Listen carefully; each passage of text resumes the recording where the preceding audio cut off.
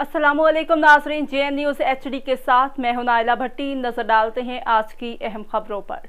ढोक सैदा के इलाके गाजियाबाद में कमसिन बच्चे तीन साल मोहम्मद अजान नईम जो चंद दिन कबल सैलाबी रेले की वजह से घर की दीवार गिरने की वजह से नाले में जा गिरा था। कमसिन बच्चे को दो दिन वेंटिलेटर पर रखा गया, लेकिन वो जानबर ना हो सका और जहाँ फानी से कूच और जहाँ फानी से कूच कर गया, जिसकी नमाज़ जनाजा तलहा मस्जिद के खतीब हज़रत मौलाना नईम साहब ने पढ़ाई नमाज़ जनाजा में मिम्बर कैंच बोर्ड हाजी ज़फ़र इकबाल राजा मीर तनवीर मलिक अब्दुल्ला, खदामी और कसी तादाद में अवामनास की शिरकत।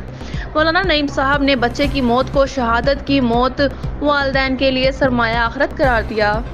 एल इलाका का मुतालबा, फौरी अहमदाबाद, गाजियाबाद, रुबानी टाउन, इन मुतासर इलाके के नालों की सफ़ाई को फिलफो यकीनी बनाया जाए ताकि कीमती जानों का जिया न हो। राजा से राब तहसील रिपोर्टर रावलपिंडी